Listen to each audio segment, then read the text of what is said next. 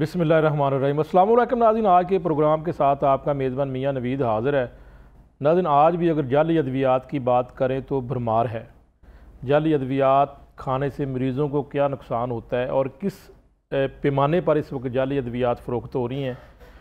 और इसके साथ हम ये भी पूछेंगे कि अगर जाली अद्वियात वाले माफिया के ऊपर काबू क्यों नहीं पाया जा रहा? तो इसके साथ मैं आज ये भी बता दूँ कि चूँकि जाली अद्वियात के हवाले से आज एक बड़ी खबर ये भी है कि ड्रग कोर्ट ने जो है वो मुलजमान को सज़ा दी है, वो मुजरम बन चुके हैं, जो कि ना सिर्फ़ जो है वो जाली अद्वियात बेचने में मुलवस है, बल्कि जो नशा आवर टीके हैं, वो भी जो है वो, ये मुलजमान जो है वो इसमें मुलवस हैं। और इनको ड्रग कोर्ट ने नशावर टीके बेचने वाले मुलजम आमर सहेल और मलक अब्दुल रऊफ़ को छः साल बामशक्क़त जो है वो सज़ा दे दी है। क्या ये इतनी सज़ा बड़ी है, जो जो इन्होंने काम किया और दोनों मुलजमान, आमर सहेल और मलक अब्दुलरऊफ़ पत्तों की में जो है वो जाली अद्वियात का कारोबार करते थे। और इस तरह के और भी बहुत सारे लोग होंगे, लेकिन ये एक जो मैंने आपको एग्ज़ाम्पल दिया कि जाली अद्वियात आज भी मार्केट में मौजूद है और अगर कोई मरीज़ जाली दवाई खा लेता है तो उसका नुकसान क्या होगा, इसके ऊपर भी बात करेंगे। और ख़ास तौर पर माफिया के ऊपर काबू क्यों नहीं पाया जा सका? मुतद जो है वो फैक्ट्रियाँ भी पकड़ी गई, इनके खिलाफ कार्रवाई भी की गई। क्या कानून में कोई सकम है, इसके ऊपर भी बात करेंगे। लेकिन आज के जो गेस्ट हैं P M A general secretary Lahore के प्रोफेसर डॉक्टर शाहद मलिक साहब हैं। प्रोफेसर साहब वेलकम आपको शो में आपसे बात करेंगे। उसके साथ में साहब मौजूद हैं जी मरकज़ी सदर Pakistan drug lawyer forum. Noor Mahar साहब, वो भी इसके ऊपर काफ़ी हद तक जो है वो अबूर रखते हैं। जाली अद्वियात हों या फिर अद्वियात की कीमतों में इजाफा कर दिया जाए। नूर महार साहब वेलकम प्रोग्राम में। जी बहुत शुक्रिया। सबसे पहले मैं सवाल करता हूँ प्रोफेसर डॉक्टर शाहद मलिक साहब से। मलिक साहब अभी भी ये मामला चल रहा है और आप समझते कि ये किस हज, किस लेवल के ऊपर ये अभी भी जाली अद्वियात मार्केट में मौजूद हैं? मेरे साहब का आपका क्वेश्चन बड़ा पर्टिनेंट है मगर उससे पहले कि मुझे इजाज़त दें आप तो मैं बताऊँ कि जली दवाई होती क्या है। जली दवाई देखें import export manufacturing storage distribution और सेल से लेके हर लेवल पे ऊपर एक जाली प्रोग्राम पेश होता है। है क्या? एक अडल्टर ड्रग होती है, जिसके अंदर कोई डिकम्पोज एलिमेंट डाल गया। फिर एक स्पूरियस ड्रग है, जिसके अंदर कोई इंजूरियस एलिमेंट आ गया उसके अंदर। फिर काउंटरफीट ऐसी ड्रग जो धोखा दे दे कंज्यूमर को। फिर सब स्टैंडर्ड है। अब हो, यहाँ ये रहा है कि हर लेवल के ऊपर ये जाली दवाई ऑपरेटिव है। पूरी दुनिया में कहीं भी होल सेल मार्केट का तस्वर नहीं है। पाकिस्तान वो बदकिस्मत मुल्क है, खासतौर पर लाहौर में, समझ लीजिए आप, कि यहाँ पर एक लोहारी मार्केट है। दुनिया में कहीं कोई दवाई अगर जाएगी तो वारंटी गारंटी के बगैर नहीं चल सकती। लोहारी मार्केट एक ऐसी मार्केट है, जहाँ पर ना वारंटी है ना गारंटी है। लोहारी मार्केट में जितनी भी अद्वियात फरोख्त हो रही हैं वो जाली हैं। मैं ये नहीं कहता। मैं कहता हूँ कि वो सारी सब स्टैंडर्ड भी हो सकती हैं। स्पूरियस भी, भी हो सकती हैं। अडल्टेड भी हो सकती हैं। क्योंकि चेक कोई नहीं। चेक करना स्टेट ने चेक करना ड्रैप ने चेक करना मिनिस्ट्री ने। और हमारा रेगुलेटर हमारा इम्प्लीमेंटर टोटल एक जिसे कहे कि आप स्क्विंटेड आई कह लें आप कि आँखें मीच के दूसरे निकल जाते हैं। तो ये तो तो मेरा सवाल यहाँ पर ये कि स्पोरियस हो या फिर दूसरी अद्वियात हो या जाली हो आपने इसकी डेफिनेशन कर दिया कि कौन कौन सी अद्वियात होती हैं। जाली तो अद्वियात मुकम्मल उसका तो आपने बताया लेकिन स्पोरियस अगर लोहारी मार्केट में फ़रोख्त हो रही हैं तो क्या ये भी मरीज़ के लिए नुकसानदेह है? मियाँ साहब देखें मैं आपको पहले ये बता दूँ कि जहर और ड्रग पॉइजन एंड ड्रग की दो डेफिनेशन है फार्मेसी में दो अलग अलग है। अगर थेराप्यूटिक डोज में कोई दवाई देंगे तो वो ड्रग है। अगर लीथल डोज में दे देंगे तो वो पॉइजन है। इंग्रेडिएंट कम होगा तो इफ़ेक्टिव नहीं है। इंग्रेडिएंट गलत आ जाएगा तो आपका सिस्टम डैमेज करेगा। एवरी वाइटल सिस्टम इज़ उसको बर्बाद कर देगा ये सिस्टम तो दवाई तो जुल्म है ना जाली दवाई होना। सब स्टैंडर्ड होना अडल्टर्ड होना। कंज्यूमर की जान भी जा सकती है भाई नॉट भाई नॉट ड्रग रिएक्शन हो जाएगा। कई ऐसे बहुत हुए कई ऐसे रिपोर्टेड केसेस हैं। बिल्कुल ठीक है। और आप समझते हैं कि मुकम्मल तौर पर फेलियर है ये ड्रैप का? ड्रैप का तमाम देखें अब हमारा रेगुलेटर है क्या क्या? Ministry DRAP federal drug force drug inspectors provincial drug महकमा सेहत का क्या? पंजाब का क्या महकमा सेहत के अंडर है। सारे ये ड्रग इंस्पेक्टर्स उनके अंडर है। जी। और वो उनका कंट्रोल है ही नहीं। DRAP is a total white elephant white elephant बिल्कुल मैं इसके ऊपर सदर Pakistan drug lawyer forum Noor Mahar साहब से पूछता हूँ। नूर महार साहब बताइएगा कि आज भी अद्वियात जाली मौजूद हैं और आज एक अ, फैसला भी ड्रग कोर्ट की जानब से सज़ा दी गई है। सज़ा दी गई है जिसमें जो है वो अ, बताया गया कि इतनी इतनी सज़ा है। तो आप क्या समझते हैं कि ड्रैब लाहौर में लाहौर में ड्रैब के कितने ड्रग इंस्पेक्टर हैं? ये किन का काम है? और इसके ऊपर भी आपने बताना, चूँकि आप कानून को भी जानते हैं कि क्या सज़ाएँ जो हैं वो इतनी मौजूद हैं कि अगर किसी को सज़ा होती है तो आइंदा उसको देख कर कोई दूसरा इस धंधे में मुलवस ना हो। जी, ये तो ड्रग कोर्ट जो है, वो इस तरह के शुगल मेले करती रहती है। छोटे छोटे लोगों को छोटी छोटी मछलियों को पकड़ते हैं। लेकिन अमली तौर पर इसका कोई बड़ा इम्पैक्ट नहीं होता। उसमें देखें अठारहवीं तरमीम के बाद 30 जून 2011 के बाद तो सूबाई हुकूमतों का काम है इन चीज़ों को ज़्यादा कंट्रोल करने का। ड्रैब से ज़्यादा पावरफुल जो है सूबाई हुकूमतें हैं। सूबों के पास जो है, इस वक्त पंजाब सूबे के पास तकरीबन नब्बे के करीब ड्रग इंस्पेक्टर्स हैं। पूरा मैकेनिज्म मौजूद है, लेकिन आप दवाइयों के बारे में इनसे पूछ लें, ये कहेंगे तो हमें तो पता ही नहीं है, हमारी ज़िम्मेदारी नहीं है। जब आप आपको यह मैं शर्तिया कहता हूँ, आप तो हेल्थ मिनिस्टर को अभी फ़ोन करें, उनको कहें कि जी, आप बताएँ कि ये दवाइयों का कंट्रोल जो है और ये कीमतें हैं इसको कौन कंट्रोल कर रहा है? और आज आज की डेट में क्या दवाइयों की कीमतें कंट्रोल हो रही हैं? क्या दवाइयाँ किस स्टेज पे कंट्रोल हो रही हैं? कुछ नहीं बताएँगे आप। दवाइयों को कंट्रोल करना तो ड्रैब का काम है ना? वो तो वफाकी जो है वो जो अथॉरिटी है उसका काम है जाली दवाई अद्वियात में मुलवस माफिया को पकड़ना वो ड्रग इंस्पेक्टर पंजाब के जो है वो ड्रग इंस्पेक्टर उनका काम है। वाजह कर दें। साहब आपको मैं आपको वजाहत कर रहा हूँ।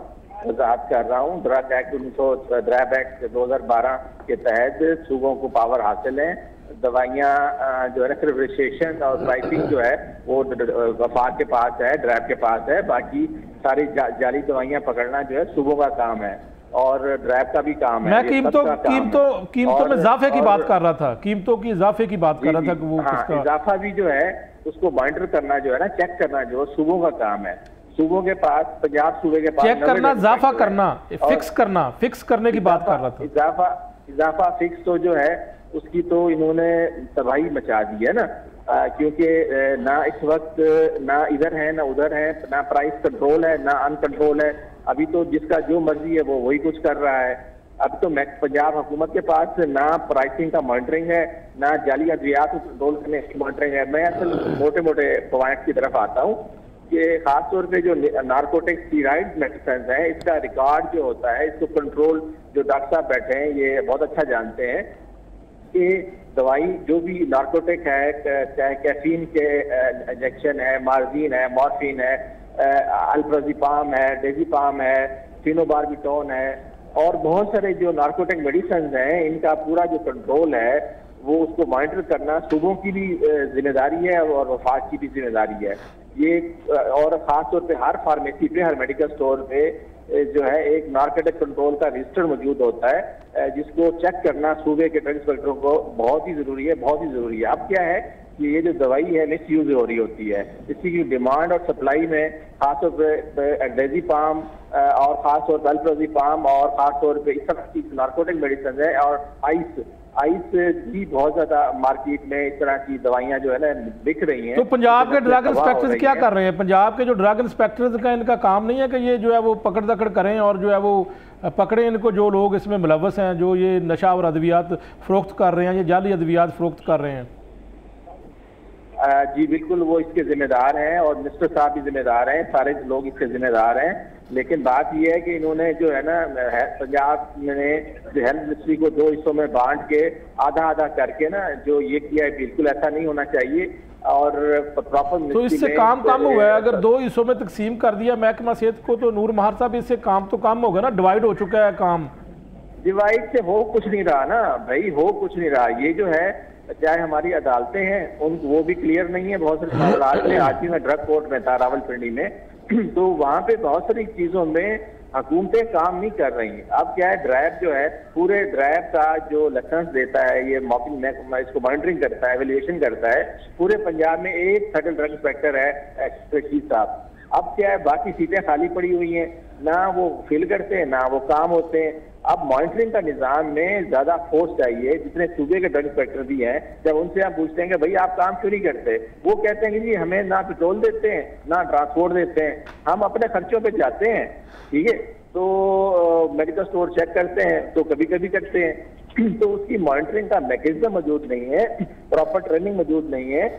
और ज़रूरत ये है कि इस पे हुकूमतें पॉलिसीज़ को इस तरह करें कि जाली अद्वियात का कंसेप्ट खत्म हो जाए। अब जाली अद्वियात पे अमली तौर पर मैं आपको बताता हूँ कि इस वक्त पूरे पाकिस्तान में, खासतौर पर पंजाब में जो जिनसी अद्वियात हैं जो नीम हकीम खतरा जहाँ हैं, वो जाली जो है ना, सलीना फिल हाइड्रेट, टेडिला फिल और इस तरह की जाली जो सेक्स की अद्वियात हैं, वो सरेआम बिक रहे हैं। ऑनलाइन जो है व्हाट्सएप पे नहीं बिल्कुल ये तो सर आप फरोख्त हो रही है। ये काम काम तो जो है वो ड्रग इंस्पेक्टर का है और आपने बता दिया कि ड्रैब का एक ड्रग इंस्पेक्टर है पंजाब में। और जो पंजाब के ड्रग इंस्पेक्टर वो कुछ भी नहीं कर रहे प्रोफेसर डॉक्टर शाह मलिक साहब बताइएगा। ये नूर मार साहब ने एक तफसीलन बता दिया है कि किसका काम है और ड्रग इंस्पेक्टर्स की अगर बात करें वैसे तो जो है वो दिन ब दिन अमीर तरीन होते जा रहे हैं लेकिन काम उनका जो है वैसे का वैसे ही है।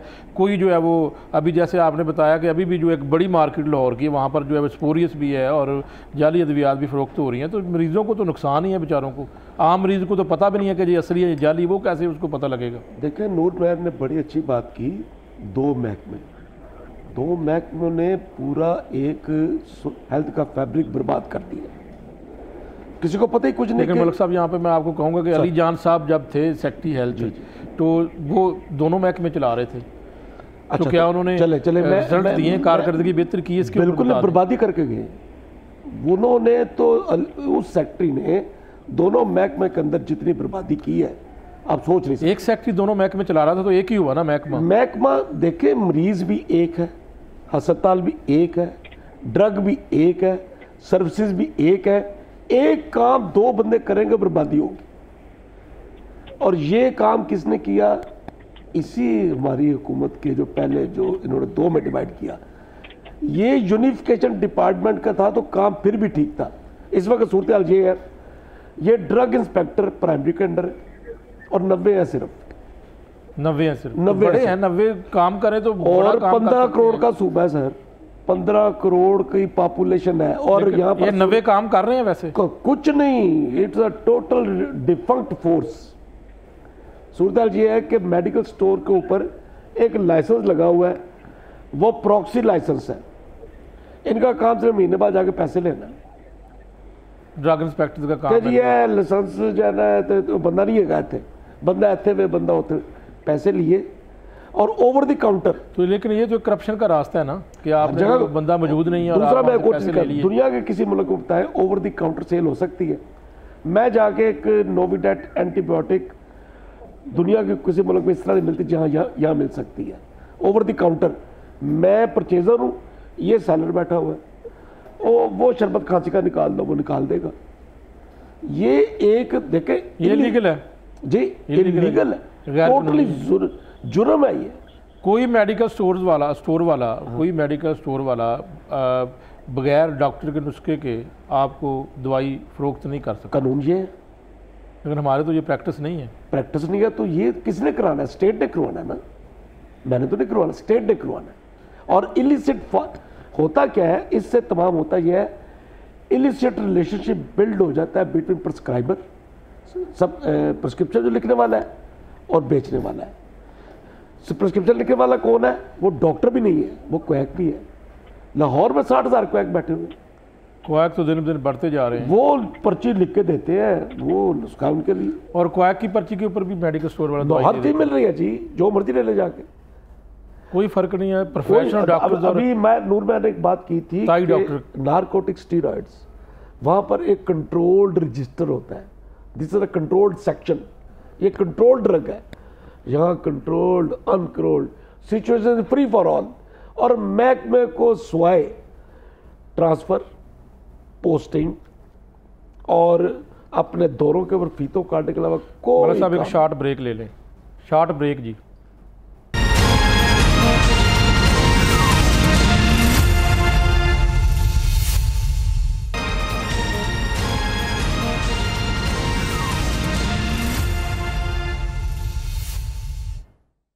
वेलकम नाजिन। नाजिन, जाली अद्वियात के ऊपर बात कर रहे हैं और आज भी जाली अद्वियात के हवाले से अगर बात करें तो मार्केट में जाली अद्वियात मौजूद हैं और इस हवाले से इससे पहले अगर कोई बात करें, पिछले जो है वो अदवार की, नून लीग की तो जो है वो जाली अद्वियात के हवाले से जो है वो बाकायदा तौर पर एक टास्क फोर्स थी और जो है वो जाली अद्वियात बनाने वालों के ख़िलाफ़ एक बड़ा क्रैकडाउन होता था, लेकिन अब इस तरह की कोई बात नज़र नहीं आ रही।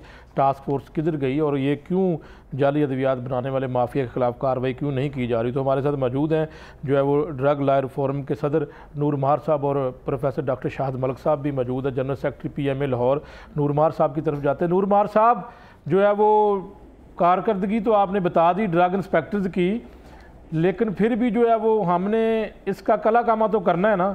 ये तो एक सोसाइटी के अंदर अगर इस तरह की जाली अद्वियात चलती रहीं तो इसका सारा नुकसान तो मरीजों को ही है। देखें, मरीजों को नुकसान क्या? मरीजों की मौत ही मौत है। और खास तौर आपको मैं एक बड़े वसूख से कह रहा हूँ कि आप हेल्थ मिनिस्टर चाहे दो है ना आधे आधे मिनिस्ट्री के आधे आधे मालिक हैं, दोनों के पास चले जाएँ उनसे पूछें कि भाई ये दवाइयों की जो कीमतें हैं और ये रजिस्ट्रेशन है, इसमें पंजाब हुकूमत का क्या किरदार है? नहीं बेसिक दो ही चीज़ें हैं ना। तो अब वो कहेंगे कि प्राइस का तो हमारा ताल्लुक ही नहीं है। कि भाई आप प्राइस कंट्रोल है कि नहीं है? आप वफाक से जुड़े हुए हैं। अठारहवीं तरमीम के बाद सूबे के पास है ये, जो सूबों की मर्ज़ी के बगैर प्राइस के कंट्रोल खत्म हो ही नहीं सकता। ड्राइव की क्या औकात है? ठीक है? आप इसको भी आप ज़रूर जाइएगा और ज़रूर आवाम के लिए गरीब मरीज़ जो है ना मर रहे हैं उसे उनके लिए ज़रूर पूछिएगा। पाकिस्तान जो है अद्वियात के मामले में दुनिया का करप्ट तरीन मुल्क है। जब अद्वियात की कीमतों का कंट्रोल खत्म हुआ है तो और उसके बाद जो डॉक्टर हैं वो तो उनके पास तो मन मौजी है कि वो जितने पैसे ले लें मरीजों के लूट मार में उसका बुनियादी किरदार उसको भी छोड़ें। वापस आता हूँ शायद मलिक साहब की बात आपने डॉक्टर के ऊपर भी कह दिया कि वो लूट मार में मुलवस हैं। हाँ जी बिल्कुल है। बहुत एक बड़ा तबका है। कैसी लूट मार की जाती है डॉक्टर्स की जानब से? वो जो है कंपनियों से जो है ना हार्ड कैश लेते हैं फ्रिज लेते हैं एसी लेते हैं बाहर के टूर लेते हैं। आप ये पूछें कौन सी चीज़ नहीं लेते? ये तो फिर मैं पूछूँगा प्रोफेसर डॉक्टर शाहद मलक से लेकिन आप अपनी बात मुकम्मल कर लें। जी मैं जाली अद्वियात तो एक तरफ़ रह गई एक दूसरा सिलसिला शुरू हो चुका है जो आपने बात की है। और और और और जो दूसरी बात इन्होंने उठाई कि भाई ये लोहारी जो है लाहौर में, ये तो ड्रग माफिया का मरकज है जिसमें जो है, ये कंपनी बनाती है। वो दरमियान एक डिस्ट्रीब्यूटर होता है एज पर लॉ वो जो है मेडिकल स्टोर फार्मेसी पे चाहिए जानी चाहिए। लेकिन हमारी जो लोहारी है, ये तो अदरिया की स्टॉक एक्सचेंज है। जब वो मतलब सेफ्ट्राजोन इंजेक्शन है, वो फार्मा मैन्युफैक्चरर से लेते हैं चालीस रुपए का। और उसकी कीमत होती है साढ़े चार सौ रुपए, पाँच सौ रुपए। तो वो मरीज़ को तो साढ़े पाँच सौ का जाता है लेकिन ये लोहारी वाले जो है वो पैंतालीस रुपए का चालीस रुपए का खरीदते हैं। तो, तो क्यों? दरमियान में दरमियान में जो इतना सस्ता क्यों? मरीज़ है सर यही तो मसला है यही तो हमारे ड्रग इंस्पेक्टर नहीं समझ पाते हमारे हेल्थ मिनिस्टर जो है बहुत दफ़ा भाँग पी के सोए होते हैं। तो ऐसा तो बेहिसी का जो है ना ये आलम है कि इंसानों के लिए सोचना इनके लिए शायद ये कहते हैं हमारा काम नहीं है। हम क्या हम क्या करें? और भाई जो काम करने वाले हैं ना, वो काम करें। अब क्या हेल्थ मिनिस्टर ज़्यादा खुश रहता है कि जी, मैंने ये इमारत बनवा ली, ये अस्पताल बनवा लिया, ये फलाना चीज़ बता लिया। तो मरीज़ के जेब पे टाका जो पड़ रहा है, उसके लिए तो आप कुछ रहम कर ही नहीं रहे। आप उसके लिए कुछ सोच नहीं रहे, उसके लिए पॉलिसीज़ नहीं बना रहे। आप कोई ऐसी कानून साजी नहीं कर रहे जिससे मरीज़ को फ़ायदा हो। आप तो सिर्फ़ जिनके लिए, मुफादात के लिए काम कर रहे हैं, वो अब क्या है अब मिसाल के तौर पे सिर्फ़ आप मुझे ये बता दें आप हेल्थ मिनिस्टर से जाके शर्तिया पूछें, भाई, दवाई कौन सी रजिस्टर्ड है, कौन सी नहीं है? आप बताएँ कहाँ पे लिखा, कौन रजिस्ट्रेशन का रिकॉर्ड है? आप पूछे ना, भाई हेल्थ मिनिस्टर से पूछें कि भाई, हमें क्या पता लगेगा जाली है कि असली है? ठीक है? आप, हमारे पास तो आम बंदा है जर्नलिस्ट है, उसको चेक करने का मौका मिलना चाहिए, उसको खबर होनी चाहिए कौन सी दवाई रजिस्टर्ड है या नहीं रजिस्टर्ड भाई, कोई मैकेनिज्म नहीं है ड्राइव की वेबसाइट पे नहीं है, सूबे, अठारहवीं तरमीम के बाद सूबे पावरफुल हैं। ड्राइव की क्या औकात है? ड्राइव तो एक सेमी प्राइवेट इदारा बिल्कुल नूर मार साहब हमारे साथ मौजूद हैं। सबका पीपीएमए के चेयरमैन डॉक्टर ताहर आज़म साहब उनसे बात कर लेते हैं। डॉक्टर साहब कैसे हैं आप? अलहमदिल्ला तो आज भी अद्वियात जाली अद्वियात मौजूद है मार्केट में और आज एक ताज़ा तरीन केस के मुताबिक जो है वो ड्रग कोर्ट की जानब से जो है वो सज़ा दी गई है कि जो जाली अद्वियात में फ़रोख्त पत्तों की के दो जो है वो अफराद जिनको सज़ा हुई है। तो ये पी पी एम ए इसके ऊपर क्या स्टांस रखती है कि जाली अद्वियात मरीजों के लिए तो बहुत ज़्यादा नुकसानदेह है? बिल्कुल जो देखें पी पी एम ए का बड़ा क्लियर स्टांस है। जो जाली या गैर म्यारी अद्वियात हैं उस पर गवर्नमेंट को एक्शन लेना चाहिए और पी पी एम ए ने कभी भी ऐसे लोगों को सपोर्ट नहीं किया जो जाली अद्वियात बनाते हैं। हम तो अपने मैन्युफैक्चरर्स की बात करते हैं। मैन्युफैक्चरर्स जाली अद्वियात नहीं बनाते ये और बाहर लोग बनाते हैं। फैक्ट्रियों से बाहर उन लोगों की बात करते हैं। लेकिन बिल्कुल आपकी बात दुरुस्त है लेकिन जो है वो ताहिर साहब मैं डॉक्टर साहब ये कहना चाहता हूँ कि अगर वो जाली अद्वियात बनती है तो उसका तो नुकसान आप भी तो आपको भी तो है ना? जाली अद्वियात मार्केट में जाती हैं फरोख्त होती हैं मरीज़ खरीदते भी हैं। तो हमें तो नुकसान है ना जी उसका? हमें तो नुकसान है हमारी जो सेल होनी है अगर हमारी दवाई कोई जाली मार्केट में बिकेगी तो वो हमें हमें तो नुकसान है हमारी सेल कम होती है उनकी वजह से। तो हमें तो नुकसान है इस चीज़ का हमें तो इसका फ़ायदा नहीं है। पीपीएम में पीएम में लाहौर के जो है वो जनरल सेक्रेटरी डॉक्टर शाद मलिक साहब मेरे साथ मौजूद उन्होंने ये जो है वो यहाँ पर बात की है कि जो एक बड़ी मार्केट लाहौर के अंदर अद्वियात की है लोहारी मार्केट वहाँ से जो है वो स्पोरियस गैर मीरी जाली अद्वियात वहाँ से मिलती हैं। देखें मैं तो कह रहा हूँ कि हम एज ए पीपीएम में एज ए मैन्युफैक्चरर हम इसको कभी भी सपोर्ट नहीं करते, हम तो कहते हैं उनके खिलाफ कार्रवाई होनी चाहिए, जो जाली अद्वियात बनाते हैं। हम तो कहते हैं, जहाँ पे भी वो अवेलेबल है, चाहे लोहारी में है, चाहे बाहर हैं, कहीं और हैं, इस पे एक्शन होना चाहिए, उनको सजाएँ होनी चाहिए। हम तो उसको कभी सपोर्ट नहीं करते। और जो है वो, अगर महकमा सेहत जो है वो एक ड्रग फोर्स बनाता है, जिस तरह पहले दौर में थी और फैक्ट्रियों के ऊपर छापे वगैरह मारे जाते थे तो इसके ऊपर भी आपको कुछ त्रास तो नहीं है? नहीं छापे देखें छापे तो वहाँ मारे जाते हैं अल्लाह ना करे जहाँ कोई गैर कानूनी काम हो रहा है। वो हमारी रूटीन में हमारी इंस्पेक्शन हो रही है। रूटीन में जीएमपी इंस्पेक्शन हो रही है दो दो तीन तीन राउंड हो रहे हैं। मतलब हर मेरे दूसरे तीसरे महीने कोई ना कोई इंस्पेक्शन हो रही होती है। तो छापे वहाँ ज़रूर छापे मारे हैं जहाँ उनको कोई इस किस्म की खबर हो कि अल्लाह ना करे किसी फैक्ट्री में कोई कोई गलत दवाई बन रही है या जाली दवाई बन रही है या कोई हीरोइन बन रही है। वहाँ पे वो छापे मार सकते हैं लेकिन रूटीन में तो छापे मारने की ज़रूरत नहीं है ना। वो रूटीन में इंस्पेक्शन हो रही हैं।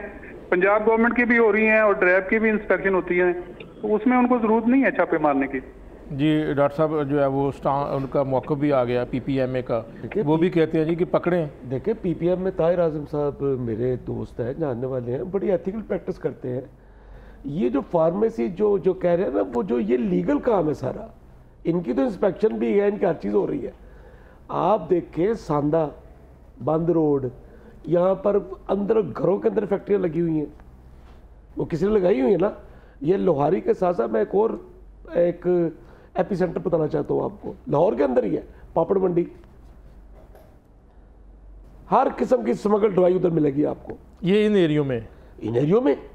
और जो स्मगल दवाई है इसको आप किस स्मगल दवाई देखते हैं? इस ये वो मुल्क है पाकिस्तान।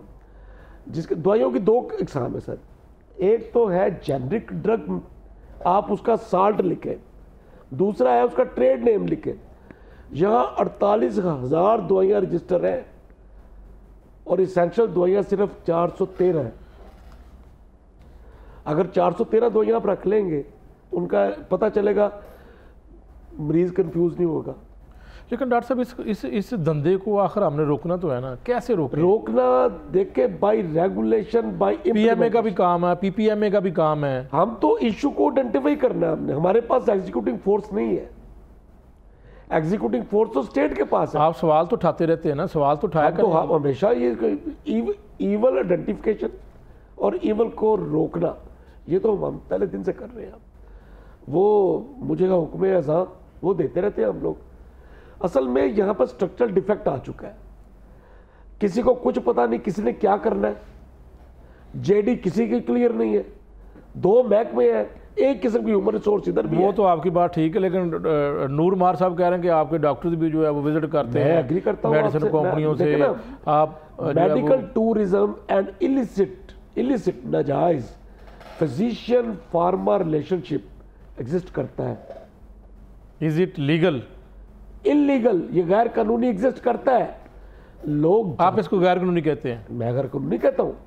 देखिए फार्मेसी से टिकट लेके बाहर जाना फैमिली को साथ लेके जाना एक ख़ास दवाई को बेचना उसके लिए पैसे लेने ये इलीगल है। ये तो डॉक्टर फिर फ़ायदा देते हैं उस कंपनी को? मैं डॉक्टर की बात मैं कर रहा हूँ डॉक्टर की बात से करें। आप सब आप करें प्रिस्क्रिप्शन राइटर वो क्वैक भी है। मैं आपको बताऊँ मैंने यहाँ पर कॉन्फ्रेंसेस देखी है जहाँ पर अगर 100 डॉक्टर बैठा हुआ है तो डेढ़ सौ क्वैक बैठा हुआ है ताई ताई ताई कैसे जा सकते हैं? सर जाते हैं ये फार्मेसी कंट्रीज़ कंपनी में विज़िट कैसे कर सकते हैं? ये लेके जाते हैं। और ये साठ हज़ार बेच रहा है दवाइयाँ इसको भी तो इंसेंटिव देते होगे ना ये जाके। मैं तो अगर नुस्खे में लिखूँगा मेरा तो नुस्खा चैलेंज हो सकता है। मैं तो नुस्खे ऊपर लिखूँगा कि ये जी ओमेप्राजोल है। मुझसे तो आप पूछ सकते हैं। कि यू आर अ साइंटिस्ट इनको कौन पूछेगा?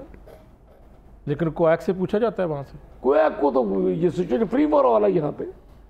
साठ हज़ार है लाहौर में। तो ये इनकी health health care commission Punjab health care commission बनने के बाद तादाद बढ़ी या इसकी बड़ी कमी कमी हुई है? बड़ी है कमी कोई नहीं हुई। Health care commission is a white elephant in garden down बिल्कुल, जो है वो पीपीएमए से पूछते हैं डॉक्टर ताहर आज़म साहब से। डॉक्टर साहब, बताइएगा कि जो है वो एक एलिगेशन यहाँ पर ये भी आया कि जो डॉक्टर्स को टूर कराए जाते हैं कंपनियों की जानब से सैरें करवाई जाती हैं, फिर वो डॉक्टर उन्हीं की दवाई लिख देते हैं। देखिए जी पीपीएम में ने और ड्रैप ने इस पे काफ़ी पाबंदी लगाई है और उस पर ड्रैप की तरफ़ से अक्सर लेटर भी आते रहते हैं। इवन पीएमडीसी की तरफ़ से भी लेटर आते रहते हैं कि ये प्रैक्टिस नहीं होनी चाहिए। तो ये कुछ ज़ाहिर बात है कंपनियाँ करती हैं और कंपनियाँ तभी करती हैं जब डॉक्टर्स जो हैं उसको वेलकम करते हैं। तो ये दोनों तरफ़ से सिलसिला जारी है इसको रोकना चाहिए। यानी एक हाथ मतलब- दो एक हाथ लो। मैं वही कह रहा हूँ ये दोनों तरफ़ से सिलसिला जारी है। एज ए डॉक्टर मैं डॉक्टर भी हूँ। तो ये मेरा फ़र्ज़ भी बनता है कि मैं इस प्रैक्टिस में ना पढ़ूं।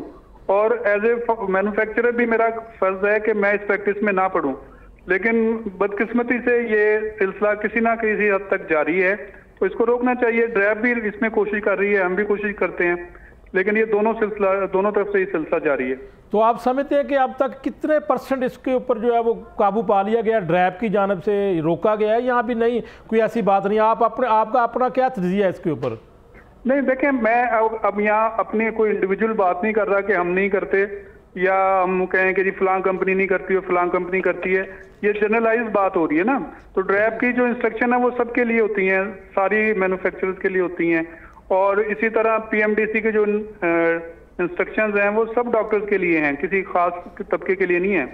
तो इस ये प्रैक्टिस है, इसको मतलब रोकना चाहिए। और इसमें दोनों तरफ़ से डॉक्टर्स भी इसमें कोऑपरेट करें और डॉक्टर्स भी इसको बुरा समझें। और फार्मास्यूटिकल कंपनी भी इसको बुरा समझे तभी ये खत्म होगा। तो क्या इस काम से किसी मरीज़ को नुकसान या मरीजों को नुकसान हो सकता है? आप समझते हैं इस काम से? आवाज़ आपकी नहीं आई। मैं मेरा सवाल ये कि इस काम से डॉक्टर्स और कंपनियों का ये जो काम है कि वो उनको टूबर करवाते हैं वो दवाई लिख देते हैं। मरीज़ को भी कोई नुकसान हो सकता है इससे? देखिए मस, मसला ये है कि अगर डॉक्टर अभी ये मलक साहब कह रहे थे मलक शाहिद साहब के मैं उमिप्राजोल लिखूँगा। वो ये उमिप्राजोल लिखेंगे तो इस चीज़ का कौन फैसला करेगा कि वो मेडिकल स्टोर वाला कौन सा उमिप्राजोल देगा उसको exactly. पेशेंट को? Exactly exactly. ठीक है ना जी? अब वहाँ वहाँ फिर ब्राइबरी शुरू हो जाएगी मेडिकल स्टोर लेवल पे। वहाँ अगर 50 कंपनियों का ओमिप्राजोल अवेलेबल है तो वो वही ओमिप्राजोल देगा उस पेशेंट को जिसमें उसको ज़्यादा फ़ायदा है। बिल्कुल। तो ये ए, इसका कोई हमें हल निकालना है। दुनिया में जो प्रैक्टिस है मुख्तलिफ़ मुल्कों में मुख्तलिफ़ प्रैक्टिस है। जेनरिक नेम भी चलता है और ब्रांड नेम भी चलता है। अब मैं आपको मिसाल दूँ कि अगर 250 कंपनियाँ सिप्रोफ्लक्सोसिन बना रही हैं जी। और 250 में से सिर्फ़ 20 कंपनियाँ जो हैं वो अपने नुमाइंदे भेज के अपने कंपनी का ब्रांड नेम बताती हैं कि डॉक्टर को कि ये हमारा ब्रांड नेम है सैम्पलिंग उसको सैंपल देती हैं कि ये आप हमारे टेस्ट करें। और 230 कंपनियाँ उसमें से जाती नहीं है डॉक्टर के पास तो डॉक्टर उनका नाम कैसे लिखेगा? डॉक्टरों को क्या पता कौन सी कंपनी किस नाम से बना रही है? बिल्कुल जी तो बहुत इसमें मार्केटिंग एक ज़रूरत है। मार्केटिंग अपनी जो है वो ज़रूरत है कंपनीज़ की कि वो अपना ब्रांड नेम बताएँ। दूसरा इशू जो है कि अगर हम सिप्रोफ्लक्सोसिन लिख दें सिर्फ़ तो उसमें कौन फैसला करेगा कि कौन सी सिप्रोफ्लक्सोसिन देनी है पेशेंट को? बिल्कुल बिल्कुल आपका आपका आपका मौकफ आ गया डॉक्टर ताहर आज़म साहब साहब का चेयरमैन पीपीए जो है वो उनकी जानब से उनका मौक़ आ गया। बहुत शुक्रिया आपका और उसके साथ प्रोफेसर डॉक्टर शाहद मलक साहब, आपका भी बहुत शुक्रिया। आप भी तशरीफ़ लाए और जो है वो नूर महर साहब हमारे साथ मौजूद थे, ड्रग लायर फोरम के सदर, उनका भी बहुत शुक्रिया। तो नाजिन जो है वो एक ब्रेक लेनी है, लेकिन ब्रेक से पहले मैं आपको बता दूँ कि अगला जो पार्ट है, उसमें हम एक वीडियो के हवाले से बात करेंगे। सूबाई वजी अतलात अजमा बुखारी साहबा की एक वीडियो वायरल है सोशल मीडिया के ऊपर। उसके ऊपर तफसीली बात करेंगे कि ये क्या मामला है। ब्रेक लेते हैं और ब्रेक के बाद वापस आते हैं।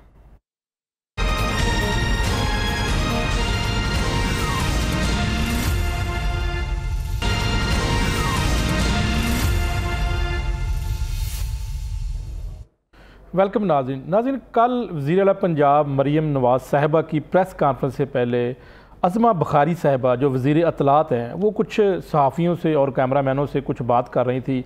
लेकिन उसको शायद रिकॉर्ड कर लिया गया और उसके बाद वो पूरा क्लिप वायरल नहीं किया गया। इस वक्त सोशल मीडिया के ऊपर बात करें तो उनका एक आधा क्लिप सोशल मीडिया के ऊपर वायरल है।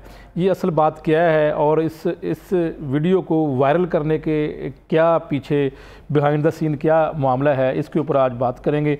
और सबसे पहले मैं आपको वो पूरा क्लिप जो है वो इस वक्त अजमा बखारी साहबा का जो पूरा क्लिप है वो आप सुन लें, उसके बाद फिर बात करते हैं। मेरे हाथ जुड़े हैं भाई। मेहरबानी करना। और कैमरामैन भाइयों, तुम लोगों के साथ तो दो दफ़ा हाथ जुड़े हैं। प्लीज़ वो गाड से मैंने कभी किसी की शिकायत नहीं की।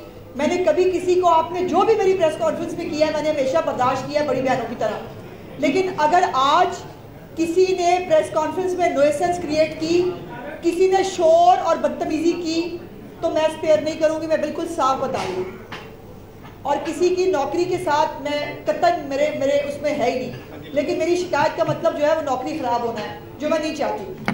मेहरबानी मेहरबानी। नहीं मैं तो हाथ जोड़ रही हूँ भाई हाथ जोड़ रही हूँ। ये तेरे से ही मुझे तो थी कि तू ये बात करेगा। बैठ जा मेरा भाई। भाई थोड़ा थोड़ी चेयर्स पीछे कर ले प्लीज़ उनकी कैमरा मैनों की सुन ले। आप लोग पीछे पीछे भी कर रहे हैं तो सीएम को नज़र आ रहे होंगे। आई मैं आई यू यहाँ से आप दिख रहे हैं सब। बहुत अच्छा दिख रहे हैं थोड़ा थोड़ा पीछे हो। जाए विकास पीछे नाजिन, आपने मुकम्मल क्लिप सुना। इससे पहले अगर सोशल मीडिया के ऊपर बात करें तो शॉर्ट क्लिप को वायरल किया गया था और इस, ये क्या बात थी, इसके ऊपर आज बात करेंगे। मेरे जो गेस्ट हैं, वकास गौरी साहब हैं, एंकर पर्सनल हॉर रंग के और बीट रिपोर्टर भी हैं। वकास साहब को वेलकम कहते हैं उसके साथ हमारे साथ मौजूद होंगे टेलीफोन लाइन पर सलमान दुरानी साहब तजिया कार हैं। उनसे भी बात करेंगे कि ये इस बात, इस मामले के ऊपर कि एक्चुअल ये वाकई सहाफ़ियों को कुछ कहा गया यहाँ पर एक रूटीन बात थी। वकास गौरी साहब, आप बीट रिपोर्टर भी हैं। मुझे बताइएगा कि ये अक्सर जो है प्रेस कॉन्फ्रेंस जब होती है तो हम सवाल करने के चक्कर में ये भी होते हैं कि जो है वो हर कोई बंदा ये कोशिश करता है जर्नलिस्ट की उसकी बारी पहले आए। तो ये क्या आपको क्या मामला ये लगता है? अच्छा मियाँ साहब, बहुत शुक्रिया आपने मुझे इस मामले पे बुलाया, मौका दिया। सबसे पहले मैं बताऊँ कि मैं उस प्रेस कॉन्फ्रेंस में जहाँ जिसकी ये वीडियो है, कल उस वक्त मैं वही मौजूद था। वक्त से पहले हम वहाँ पे मौजूद थे और वक्त के बाद ये सारा जो मामला है हमारी नज़रों के सामने हुआ। सीएम पंजाब की प्रेस कॉन्फ्रेंस थी। जो एक निजी कॉलेज की में एक जो आजकल सोशल मीडिया पे वायरल है, वो भी सोशल मीडिया के मामला उसी से रिलेटेड मरियम नवाज़ की प्रेस कॉन्फ्रेंस थी। और वो ज़्यादा मीडिया से इंट्रैक्शन नहीं करती, मरियम नवाज़ साहिबा।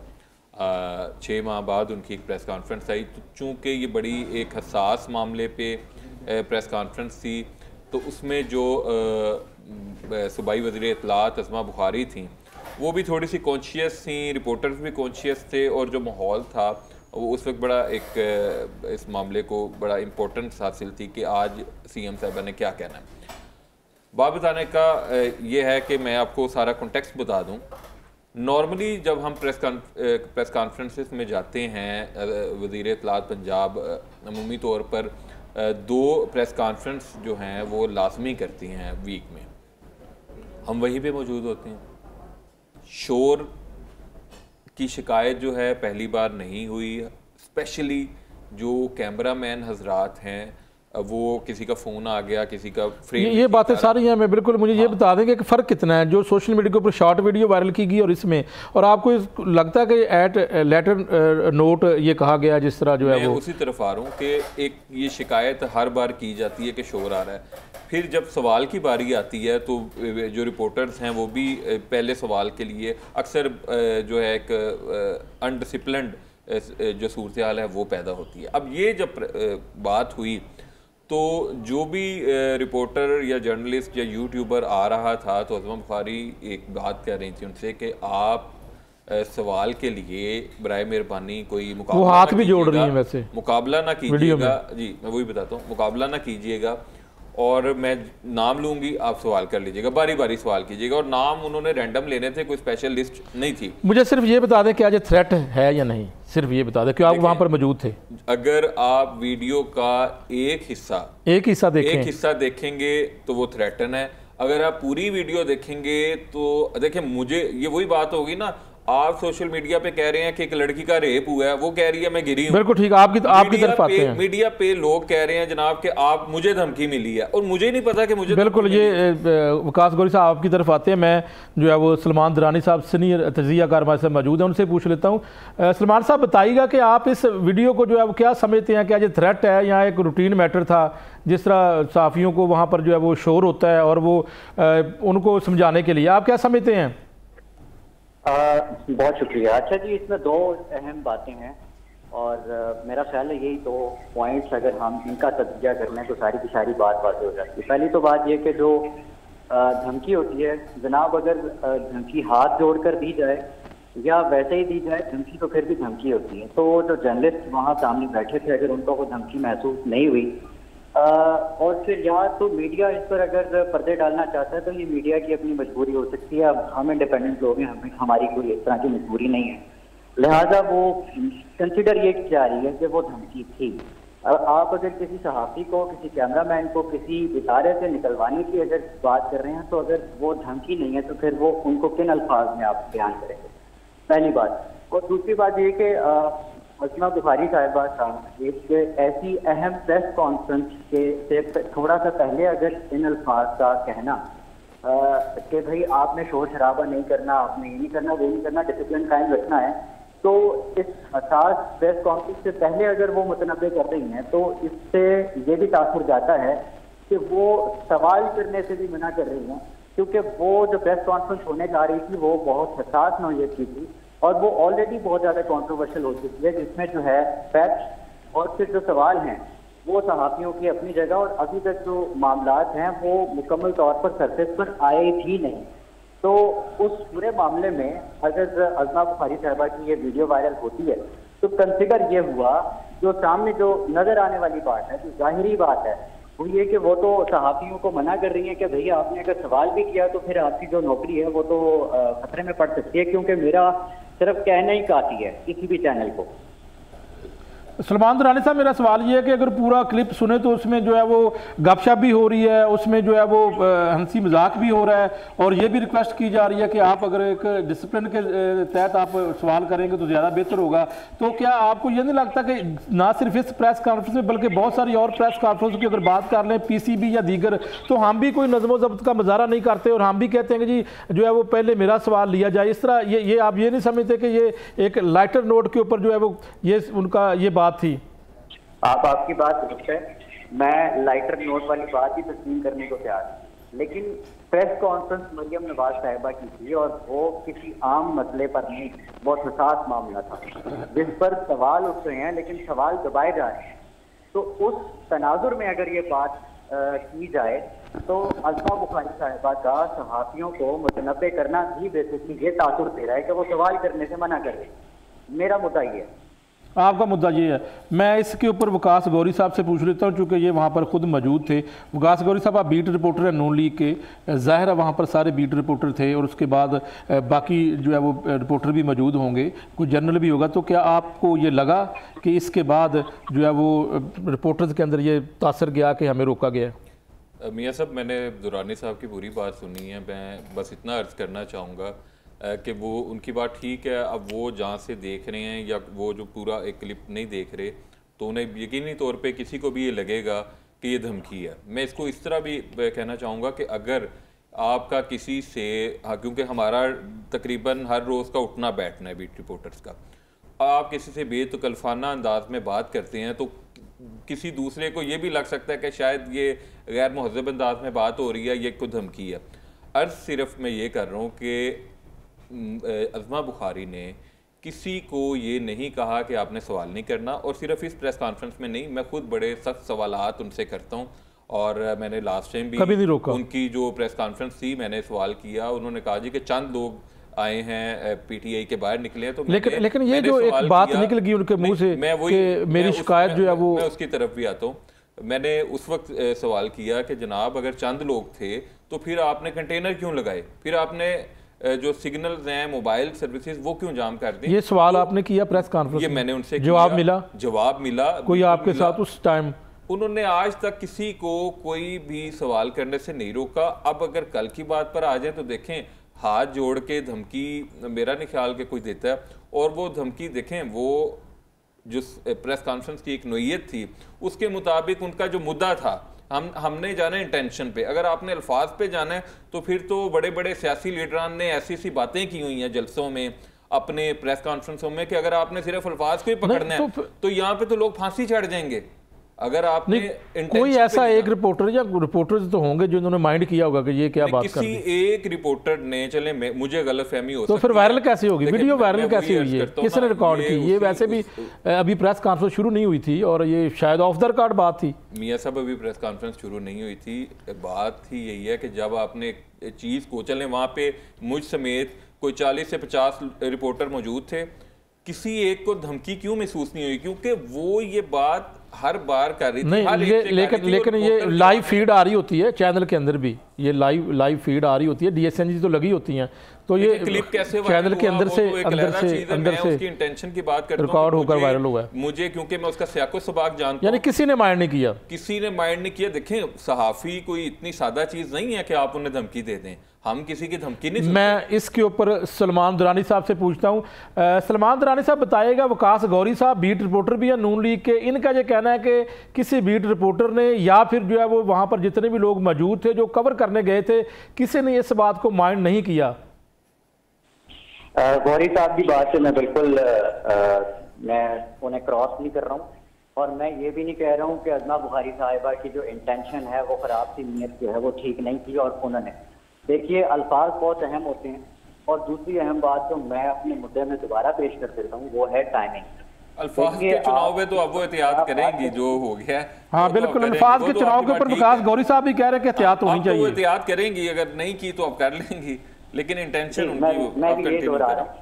देखिए देखिए मैं भी इसी का दोहरा रहा हूँ कि दोबारा एक बात कि टाइमिंग बहुत अहम थी कि अजमा बुखारी साहिबा जिस प्रेस कॉन्फ्रेंस से पहले ये सहाफ़ियों को मुतनबे कर रही थी वो प्रेस कॉन्फ्रेंस जो है पहले ही किसी कॉन्ट्रोवर्शियल मामले पर बहुत अहमियत इख्तियार कर बिल्कुल ठीक है आपकी बात। पर जो सवाल करने थे सहाफ़ियों ने अब सहाफ़ियों के अंदर ये तासुर नहीं किया कि कोई पैटर्न हुआ या नहीं हुआ, ये नहीं बट सोशल मीडिया पर जो एक अमूमी तौर पर जो तासुर आया है, वो ये कि जो सेटल किया गया है जर्नलिस्ट को कि आप सवाल नहीं कर सकते और दूसरी अहम बात कि ये वही प्रेस कॉन्फ्रेंस है, जिसमें मरियम नवाज़ साहिबा ने सहाफ़ियों को और कुछ सोशल मीडिया एक्टिविस्ट जो जिन सहाफ़ी को अली अमीन गंडापुर साहब ने भी पेट कहा था, वो भी गलत कहा था। लेकिन मरियम नवाज़ साहिबा ने भी अपने प्रेस कॉन्फ्रेंस में बहुत से सहाफ़ियों को पेट कहा और टाउट कहा और किसी की तनख्वाह पे काम करने वाला कहा। तो आ, मेरा ख्याल है सवाल इस पर भी उठना चाहिए और इस पूरे मामले को अगर फील नहीं किया गया तो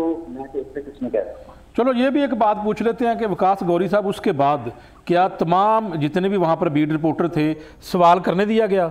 और क्या किसी ने सख्त सवाल किया? उसके बाद कोई रद्द आया? ये भी बता दें। वैसे मैंने वही आपको पहले भी जैसे बताया कि आज तक किसी एक प्रेस कॉन्फ्रेंस में भी सवाल करने से नहीं रोका नहीं गया। कल वाली प्रेस कॉन्फ्रेंस कल वाली प्रेस कॉन्फ्रेंस के सवाल किए गए सख्त सवाल किए गए। कल वाली प्रेस कॉन्फ्रेंस के बाद भी मेरा ख्याल है आधे घंटे तक सवाल होते रहे और सबको मौका मिला। सबको मौका मिला। मतलब सबको तो किसी प्रेस कॉन्फ्रेंस में नहीं मिलता लेकिन जिस मैक्सिमम मैक्सिमम लोगों को मौका दिया गया सवाल भी हुए। सख्त सवाल भी हुए। जो रूटीन के सवाल हैं वो सबने किए। कल वाले वाक़े पे भी सवाल उठाए, ये भी मरीम नवाज़ साहिबा मैंने खुद सवाल किया मरीम नवाज़ साहिबा से मरीम नवाज़ साहिबा ने कहा कि पाकिस्तान तरीके इंसाफ, एक दहशतगर्द जमात है तो मैंने सवाल किया, मैंने कहा, अगर वो है तो आप पाबंदी क्यों नहीं लगाते? बहुत शुक्रिया, वकास गौरी साहब हमारे साथ मौजूद थे और तफसीला हमने बात की और सलमान दरानी साहब भी हमारे साथ मौजूद थे, तजिया कार उनसे भी हमने बात की और जो क्लिप एक जारी किया गया था सोशल मीडिया के ऊपर अजमा बुखारी साहबा का जो कि वायरल था और मुकम्मल क्लिप के अंदर क्या बात थी और शॉर्ट क्लिप के अंदर क्या बात थी, हमने तफसीला बात की और क्या उस प्रेस कॉन्फ्रेंस के अंदर जो है वो सहाफ़ियों को सवाल करने दिए गए, इसके ऊपर भी हमने बात की। तो नाजिन आज के प्रोग्राम में इस मामले के ऊपर बात के साथ साथ जिस तरह जाली अद्वियात की भरमार है और उसके ऊपर भी हमने तफसीला बात की कि इसके नुकसान क्या हैं, इसका मरीज़ों को क्या नुकसान होता है। तो आज के प्रोग्राम में जाना चाहता हूँ। अगले हफ़्ते दोबारा हाजिर हूँ तब तक के लिए अल्लाह हाफ़